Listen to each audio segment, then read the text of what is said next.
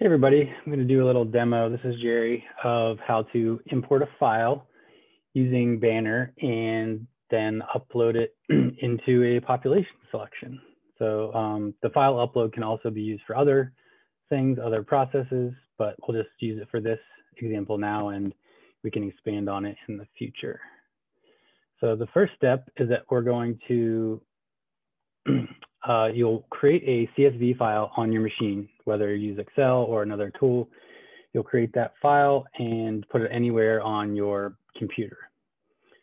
Once you've done that, you can open up uh, GLR, SLCT, and if you have an existing population selection you want to reuse, you can use that.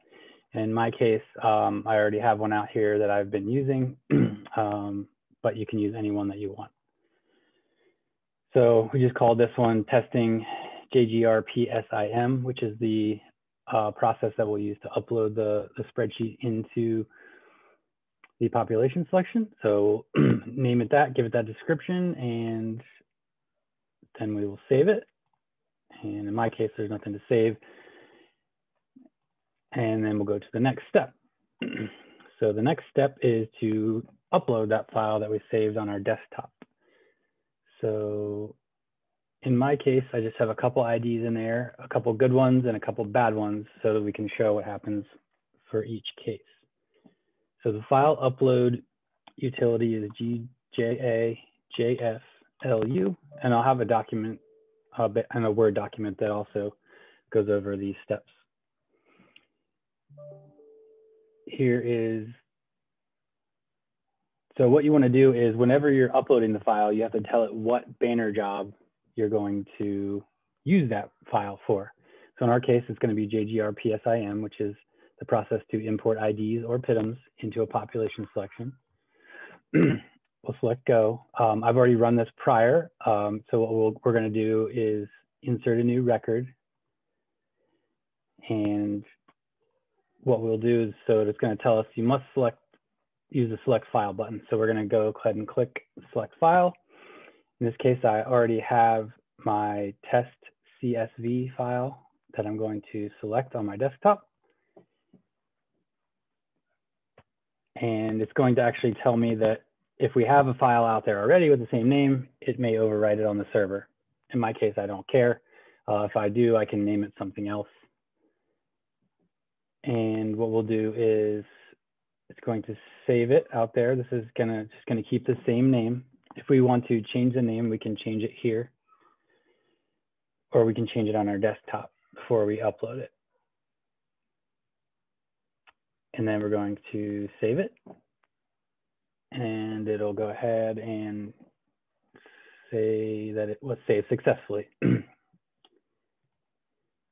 Once we've done that, we can go out of that page and then we can go into the process that does, that does the upload JGR PSIM. And we'll say go. And I already have some parameters saved in here, but what you'll do is just choose database for the printer. You're going to put your your um, population selection information in here, general JF test, falls J, those are mine in this case. Um, so the system indicator here That is, oh, that is that basically tells it if it's a manual or a system pop cell, I believe. So in my case, it's manual. And the import type is going to be ID. You can also do PIDMs. So if you have a list of PIDMs, you can upload those as well, but you have to basically choose one or the other. In my case, I just did D numbers or IDs and then we're going to tell it where to go to get the file. So when we ran the other process, it gives us this pa file path of where it uploaded the file, and that's what we put in there. In my case, I want to overwrite everything, but if you want to append, you can change this to a no. We'll just go down into the submission block and we'll save. And it's going to give us our login list files. Go ahead and take a look at those. Look at the list file first. And you can see here that this is the pop cell information. It tells you everything that you ran it for. It's going to say how many records were in that file. There's no duplicates found. There's two bad IDs found. And there's going to be similar information in the log file.